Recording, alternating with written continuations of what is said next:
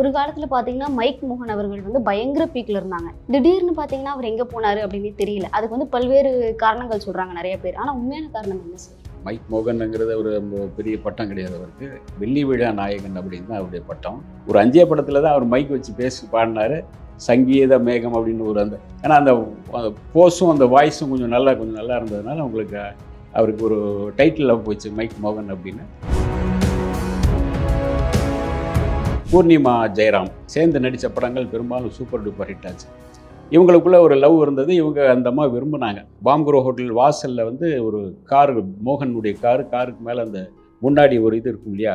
அதில் உட்காந்து மேலே உட்காந்துருக்கேன் இவங்க க தோலில் கை போட்டு பேசிகிட்டு இருக்காங்க. இவங்க அது பாக்கியராஜ் பார்த்துட்டு போகிறேன்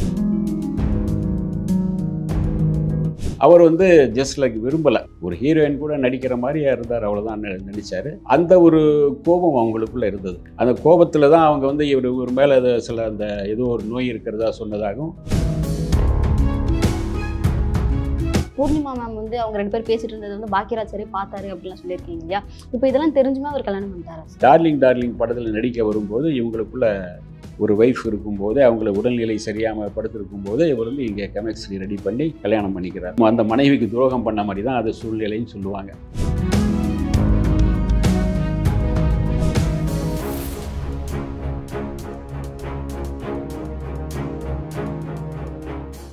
ரிஃப்ளெக்ட் நேயர்களுக்கு வணக்கம். இன்னைக்கு நம்ம கூட ஜேர்னலிஸ்ட் சபிதா ஜோசப் அவர்கள் இருக்காங்க. அவங்க கூட பேசி சினிமா சார்ந்த நிறைய விஷயங்களை நாம கேட்டு தெரிஞ்சுக்க போறோம். வாங்க பேசலாம்.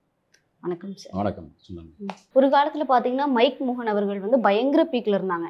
அவருடைய படங்கள் ரிலீஸ் ஆச்சுனாலே நூறு நாட்கள் ஓடும் ஒரு வருஷத்துக்கே பல படங்கள் ரிலீஸ் ஆகும். திடீர்னு பாத்தீங்கன்னா அவர் எங்க போனாரு அப்படின்னு தெரியல. அதுக்கு வந்து பல்வேறு காரணங்கள் சொல்றாங்க நிறைய பேர். ஆனா உண்மையான காரணம் என்ன சார் மைக் மோகன்ங்கிறது ஒரு பெரிய பட்டம் கிடையாது அவருக்கு. வெள்ளி விழா நாயகன் அப்படின்னு தான் அவருடைய பட்டம். அவர் வந்து பெங்களூரில் ஒரு பேங்கில் வேலை பார்த்துட்டு இருந்தார். மோகன் ராவ் அப்படிங்கிறது அவருடைய பேர். பெங்களூரில் ஒரு பேங்க் வேலை பேங்கில் வேலை பார்த்துட்டு இருந்தார். சினிமா ஆசையை உள்ள கொண்டவர். எம்ஜிஆருடைய மிகப்பெரிய ஃபேன் எம்ஜிஆர் மேலே ஒரு பற்றுதல் உள்ள ஃபேனு எம்ஜிஆருடைய எந்த படம் தமிழ் படங்கள் எந்த படம் ரிலீஸ் ஆனாலும் அங்கே வந்து பார்க்கக்கூடிய ஒரு நல்ல ஃபேனாக இருந்தார். அப்போ தான் உங்களுக்கு வந்து பெங்களூரில் நம்ம பாலு மகேந்திரா ஒரு கோகிலான்னு ஒரு படம் பண்ணார். இவர் நம்ம கமல் சார் தான் அதில் ஹீரோ அதில் ஒரு கெஸ்ட் ரோல் பண்ணிட்டு இருக்கிறார் அந்த ஒரு இன்ஃப்ளூயன்ஸ் வச்சு தான் தமிழ்நாட்டுக்கு வந்து வந்தப்போ வந்து உங்களுக்கு தமிழ்நாட்டில் வந்து பா மூடு பனி படத்தில் ஒரு கெஸ்ட் ரோல் பண்ணார். இன்னொரு சில சில படங்கள் பண்ணால் அப்போ வந்து மகேந்திரன் டைரக்டர் மகேந்திரன் சாருடைய பார்வையில் படும்போது அந்த நெஞ்சத்தை கில்லாத பண்ணார். நெஞ்சத்தை கில்லாத படத்தில் இவர் தான் ஒரு ஃப்ரெஷ்ஷான ஹீரோ அப்படின்னா சுஹாசினியும் அதில் ஹீரோயின் தான். ஏன்னா அதில் வந்து கேமரா உமனாக இருந்தாங்க. ஒரு ஹீரோயினாக தேடும்போது இவங்க நல்லா கரெக்டாக இருக்காங்கன்னு அவங்கள இது பண்ணாங்க. அந்த படத்துலேருந்து அவர் லைஃப் தொடங்குது. அதுக்கு பிறகு அவருக்கு வந்து இப்போ பெருசாக ஒரு பேர் கொடுத்ததுன்னா பயணங்கள் முடிவதில்லை கிழிஞ்சல்கள் கிளிஞ்சல்கள் தான் இப்போ துரை அப்படின்னு சமீபத்தில் இறந்தார் இல்லையா அந்த பசி துரை. அவர் தான் டைரக்ஷன் பண்ணியிருந்தார்.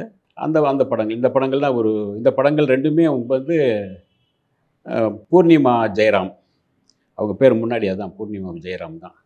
அந்த பேரில் இருக்கும்போது அந்த பேரில் தான் நம்ம பேசிக்கணும் அப்போது அவங்க அவங்க பாக்கியராஜுடைய ஒய்ஃப் ஆகலை. அதுக்கு முன்ன வரைக்கும் இவங்க அவங்க சேர்ந்து நடித்த படங்கள் பெரும்பாலும் சூப்பர் டூப்பர் ஹிட் ஆச்சு.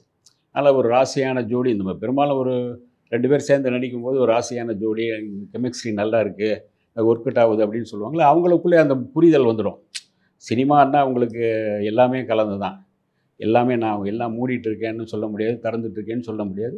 சினிமாங்கிறது அது வந்து ஒரு தொழில் அந்த தொழிலில் வந்து எல்லாமே வந்துடும் அதை தாண்டி நீங்கள் வந்து அதை வந்து அந்த இடத்துல எல்லாமே பண்ண வேண்டியிருக்கும். எல்லாமே விட்டு தர வேண்டிய சூழ்நிலையும் இருக்கும்.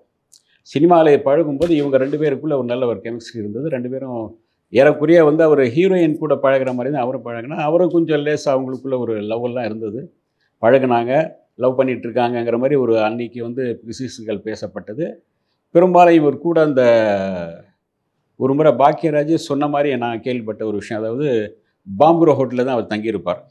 இப்போ இருக்கிற இப்போது அப்போ ரொம்ப ஃபேமஸாக இருக்கும் அந்த ஹோட்டல் ஒரு ஸ்டாருக்குடைய ஹோட்டல் தான். பெரும்பாலும் எல்லா படங்களுடைய டிஸ்கஷன் எல்லாமே அங்கே தான் நடக்கும். எல்லா ஆர்டிஸ்ட்டும் அங்கே தான் இருப்பாங்க. பாம்குரோ ஹோட்டல் வாசலில் வந்து ஒரு கார் மோகனுடைய காரு காருக்கு மேலே அந்த முன்னாடி ஒரு இது இருக்கும் இல்லையா? அதில் உட்காந்து மேலே உட்காந்துருக்கேன். இவங்க க தோலில் கை போட்டு பேசிகிட்டு இருக்காங்க அவன் அது பாக்கியராஜ் பார்த்துட்டு போகிறேன் என்ன கலிக்காலம்யா இப்படியெல்லாம் ஹீரோயின்கள் இப்படி பேசிகிட்டு இருந்தால் என்ன ஆகுதுன்னு பேசிட்டு போனாருன்னு கேள்விப்பட்டிருக்கேன். பிற்காலத்தில் இவங்க ஜோடி சேருவாங்கங்கிறது வேறு இதாகலை அது அது வரைக்கும் அது முடியலை. இவங்களுக்குள்ளே ஒரு லவ் இருந்தது. இவங்க அந்த அம்மா விரும்பினாங்க. மோகனை மோகன் வந்து அப்போது வந்து வெள்ளி விழா ஹீரோன்னு சொல்லும்போது இவர் யார் கூட நடித்தாலும் அந்த படம் சக்ஸஸ் ஆகிடும் அந்த அளவுக்கு பேர் பெரிய ஹீரோன்னு சொல்லும்போது இவங்க விரும்பினாங்க. அவர் வந்து ஜஸ்ட் லைக் விரும்பலை. ஒரு ஹீரோயின் கூட நடிக்கிற மாதிரி இருந்தார் அவ்வளோதான் நினச்சார் அந்த ஒரு கோபம் அவங்களுக்குள்ளே இருந்தது.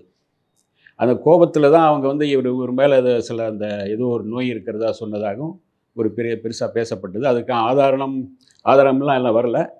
கிசுகிசுக்கப்பட்டது. இந்த மாதிரி சொன்னாங்க. ஏன்னா ஒரு சில பேருக்கு வந்து யானைக்கும் பெண்ணுக்கும் வந்து ஏமாற்றம் தாங்க முடியாது. யானை வெ- வெளுத்து கட்டுறோம். எங்கே இருந்தாலும் ப- இது அதே மாதிரி பெண் வந்து ஏதாச்சும் ஒரு வகையில் அவங்கள பழி வாங்குவாங்கன்னு சொல்லுவாங்க. அந்த மாதிரி பழி வாங்கப்பட்டார் அப்படின்னு சொல்லுவாங்க. அந்த ப அந்த அந்த பரபரப்புக்கு பிறகு கொஞ்சம் அவர் அடங்கி இருந்தார் கொஞ்சம்.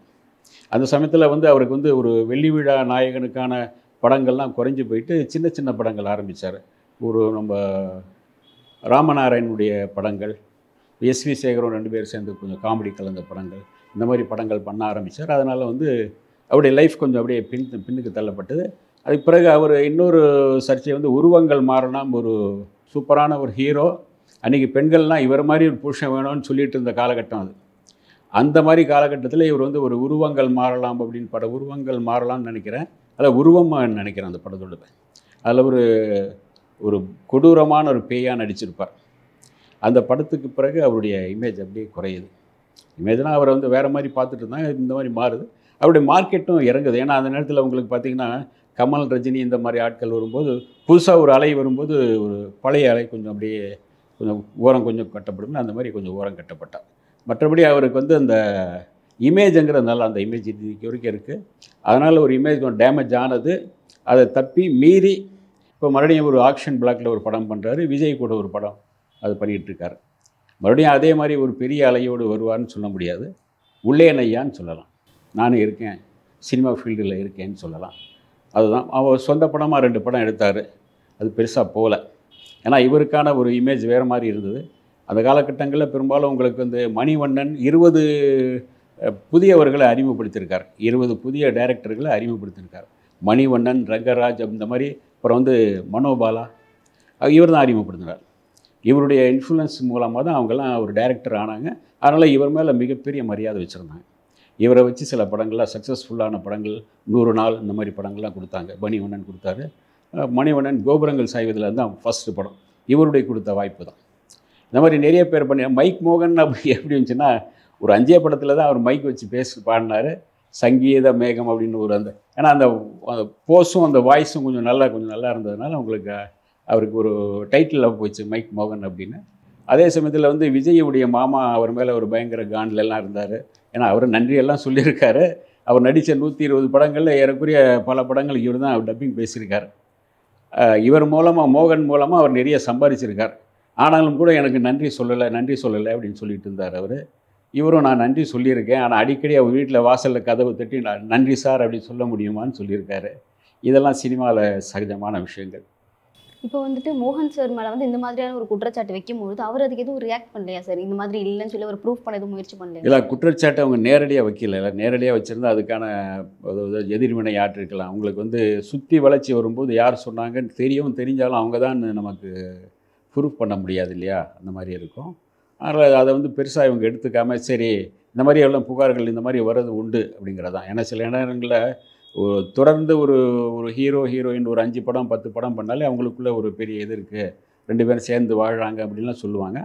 ஆனால் சில இடங்கள் அந்த இருக்காது. ஏன்னா மலையாளத்துலலாம் உங்களுக்கு பிரேம் நசீரும் ஷே ஷீலாமாவும் நூற்றி இருபது படங்களில் சேர்ந்து நடிச்சிருக்காங்க. ஹீரோ ஹீரோயின் தான். அவங்களுக்குள்ளே எந்த காசிப்பும் வந்தது கிடையாது. ஆனால் ஷீலா கடைசியாக என்ன கல்யாணம் பண்ணிட்டாங்கன்னா ரவிச்சந்திரன் நம்ம பழைய இன்னும் வெள்ளி விழா ஒரு நாயகன் அப்படின்னு இன்னொருத்தர் இருக்கார்ல ரவிச்சந்திரன். காதலிக்க நேரம் இல்லை. அவரை லவ் அவங்களுக்கு அவரை லவ் பண்ணி கல்யாணம் பண்ணிட்டாங்க. ஒரு முஸ்லீமா மதம் மாதிரி அவங்க கிறிஸ்டின் இவர் இந்து பிராமின் இவர் அதனால் அந்த மாதிரி அதை வந்து இந்த இந்த மாதிரி கிசு கிசுகள் வர்றது உண்டு. அதை வந்து கொஞ்சம் லேசாக அவர் கொஞ்சம் ப பெருசாக எடுத்துக்காமல் அப்படியே விட்டுட்டார் அதை. ஆனா மோகன் சார் தரப்புல வந்து இது ஓகே சார் பூர்ணிமா மேம் வந்து அவங்க ரெண்டு பேர் பேசிட்டு இருந்தது வந்து பாக்கியராஜ் சாரே பார்த்தாரு அப்படிலாம் சொல்லியிருக்கீங்க இல்லையா? இப்போ இதெல்லாம் தெரிஞ்சுமே அவர் கல்யாணம் பண்ணிட்டாரா இல்லை அது நடந்ததே ஒரு பெரிய ஆக்சிடென்ட் மாதிரி தான்.